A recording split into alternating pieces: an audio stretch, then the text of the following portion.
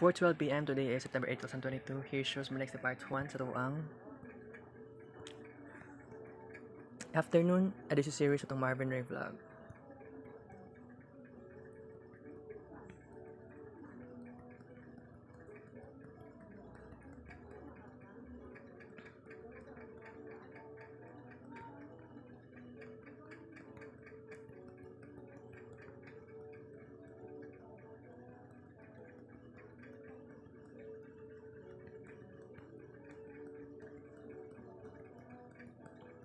Palakaw na ko karon guys. Padulong kong eskwelahan.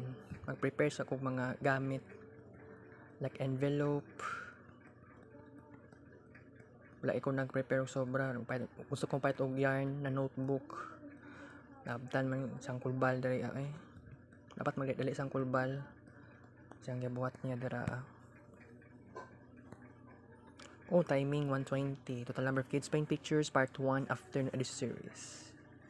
240, kaganiya sa noon edition series total number.